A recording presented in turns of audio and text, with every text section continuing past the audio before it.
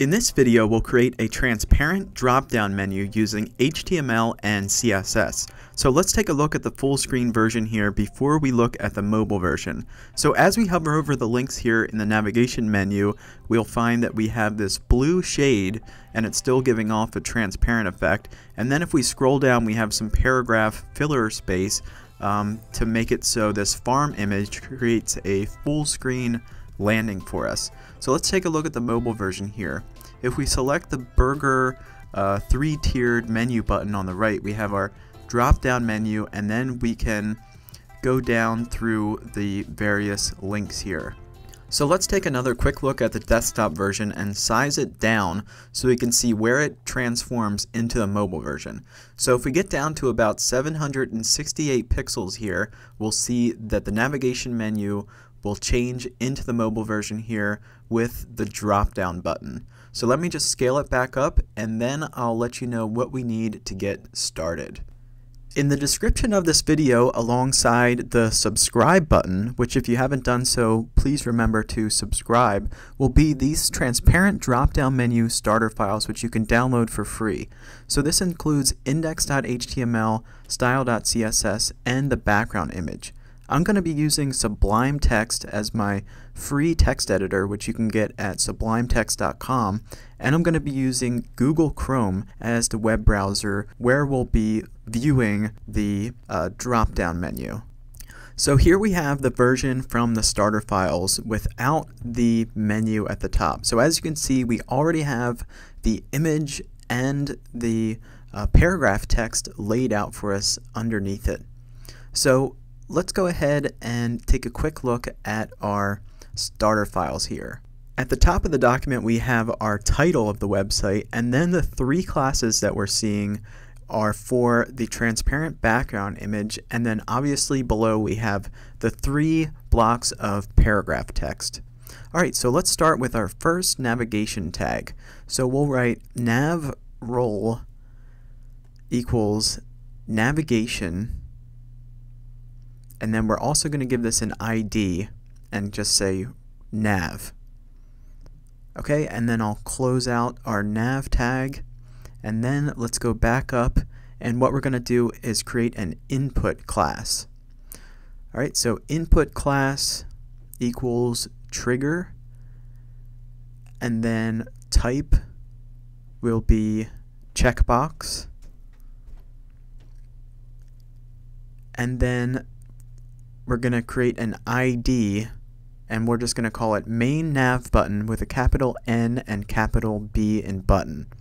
So this will be for our burger or hamburger drop down menu button. It's going to be a checkbox which will later change into that hamburger menu link that we're seeing right here once we're in our style.css sheet. So now let's add our menu text off to the left hand side. So we're going to write label for main nav button, again with the capital characters here, on click, and then in between the label tag, we'll just write menu. Okay, and then we can drop down. And if we take a look at it here, we'll have a little checkbox up here and then our menu text to the right of it.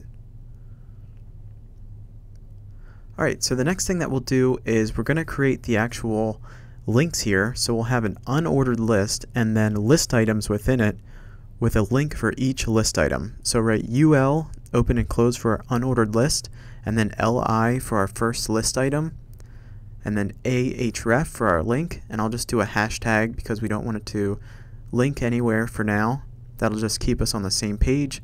And then home for the first navigation link. Alright, and then we have the About Us link beneath that. And I'll just do the services link underneath here.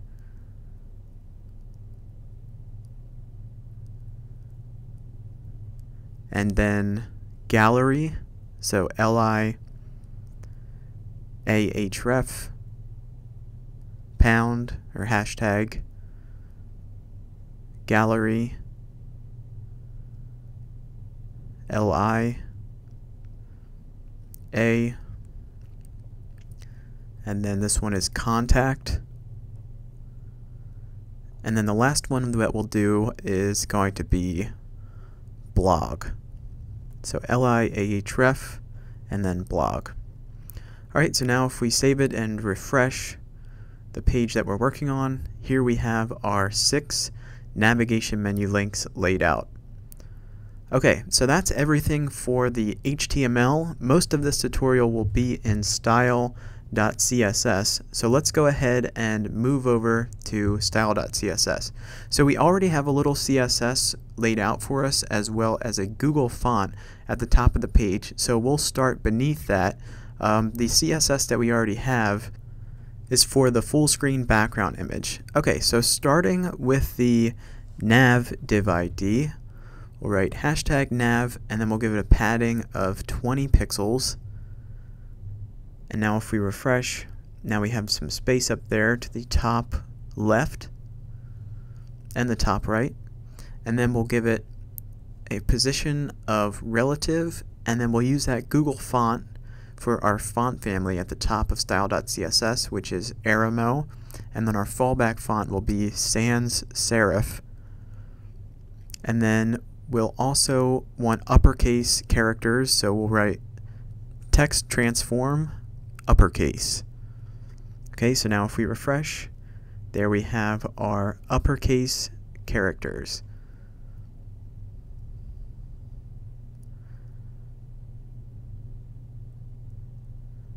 Okay, so now let's drop down to our unordered list. So we'll get to that with hashtag navul, open and close your brackets. And our first style is display none, but for now what we're going to do is make this an invisible comment in CSS with the forward slash and the asterisk because we want to be able to see it as we're editing it for now. So later um, it will be display none because we only want it to display once we click the drop down navigation button. So then we'll give it a width of 100%, a list style of none to take away the black dots to the left of the links, then margin 0 and padding 0. Okay, so now if we refresh, there we have uh, our margin and padding taken away as well as the dots for the unordered list. So now let's drop down and style the links themselves. So we'll need to get to the A link, starting with nav ul li and then A. Okay, so now let's write display block padding 1 m which is the equivalent to about 16 pixels and then background we'll do sort of a light to dark gray color so there we have our, our padding now let's add the gray color. So this is going to be the hex value 323232.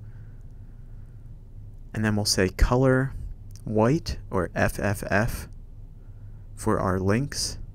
Okay, so now if we refresh, there we have our white links. And then let's take away the underline. So text decoration none. And then we're going to create a border. So if we look at the original, we have a border to the right of each navigation link. So what we'll do is border right, one pixel solid, and then a light gray color. So 4C, 4C, 4C. So for now it's going to be difficult to see it to the right here because we don't have any dark gray to the side of it. If we change it to 11 pixels, we'll be able to clearly see it. So there, there's the border right. And I'll just change it back to one pixel. Okay, so now let's drop down and let's create the hover style for when we hover over a navigation link. So nav ULIA hover with the colon in between A and hover, and then background, and the hex value is 2980B9, which will be for sort of a flat blue color. Okay, so let's refresh. And there we have our flat blue. Okay, so now let's go back and let's make it transparent. So this is pretty simple. We'll just do opacity 0.8. Alright, so then if we refresh, there we have our transparency for the whole menu. Okay, so moving on, what we want to do is actually take away some of the border. So we don't want border on our last navigation link. To do that, we'll go with navul li colon last dash of dash type a. And then we'll just say border right none. So there we have our border. And we don't want it on the last one.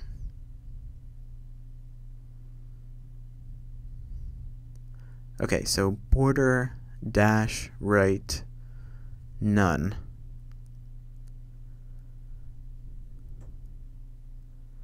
Okay, and then moving on, the next thing that we'll do is let's get rid of the check mark or checkbox to the left of the menu text.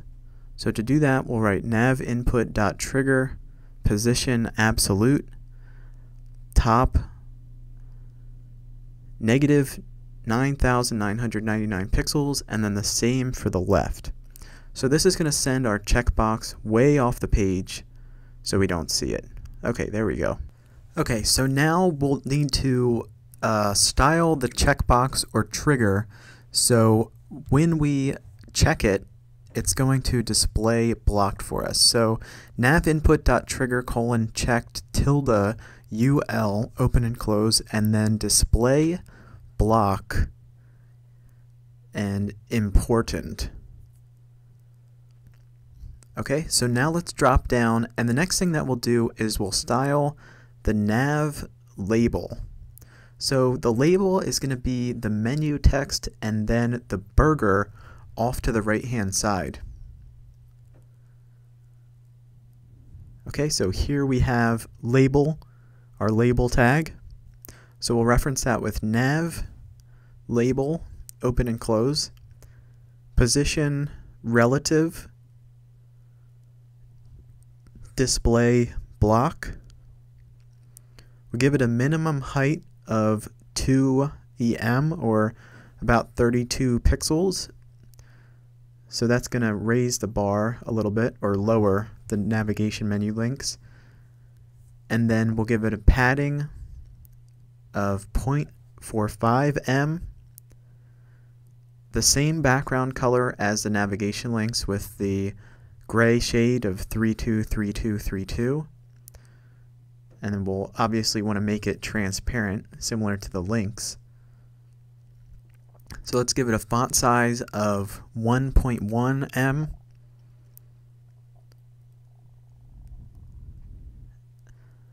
And then we'll give it a larger line height to center the, uh, the menu text there. So line height of 2m, which is the same as the minimum height. Then we'll give it the color of white. And now if we refresh, there we have our menu text, and then we'll just make the background transparent. So opacity 0.8. Or point, let's see what it looks like. Alright, let's stay with um, 0.8. Okay, so now let's style the, uh, or add the burger menu off to the right hand side. So we'll, we'll reference that with nav label colon after and then we'll say position absolute. We're going to push it off to the right, so right 0.8 m, and then top 0.5 M. And then content. And this is going to be backward slash 2261. And that's the reference for the, uh, the character or font character for the little burger menu there, and then we'll want to enlarge it. So let's change the font size to 2.3 M, which is I think a little bit less than 40 pixels, or about that. Okay, so there we have our menu bar. And now what we can do is take away the comment characters here for display none. And there we have our mobile version complete. So now we can move over to our full width version. All right, so let's drop down and we'll create a little media query here.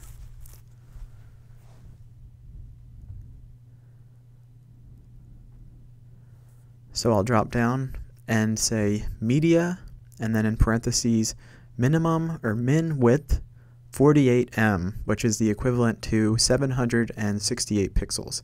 So what we're saying is anything larger than 768 pixels, apply these um, styles to it. So let's go ahead and style the unordered list first. So that rather than having it display none, we're going to have it display flex. So nav ul display flex and then flex direction row. Okay, so now if we take a look at it, there we have the start of our desktop version. Okay, so now let's dial the list items navul li and then position relative flex 1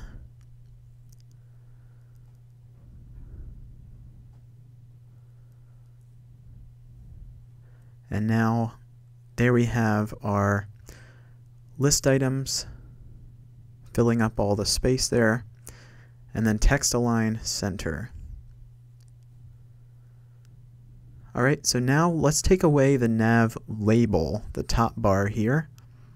So we'll reference that with nav label and then display none.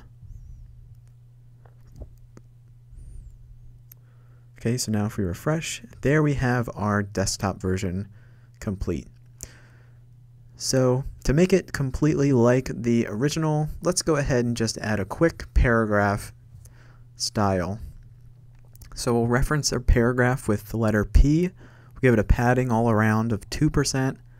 Let's change the font size to 170% and enlarge our line height to 180%. And then we'll just say text align justify to give it the newspaper feel of um, straight up and down edges. Okay. So there we have our complete transparent drop-down navigation menu. Okay, so that does it for the tutorial. I want to thank you for watching. Please remember to like this video and subscribe, and I'll see you in the next tutorial.